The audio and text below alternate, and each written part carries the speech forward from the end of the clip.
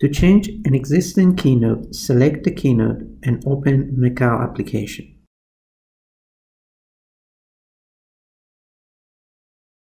You will see the keynote highlighted in the table. Select the new keynote which you'd like to replace with the existing one and then hit the Change Keynote button. In a moment, the existing keynote will change to the new keynote.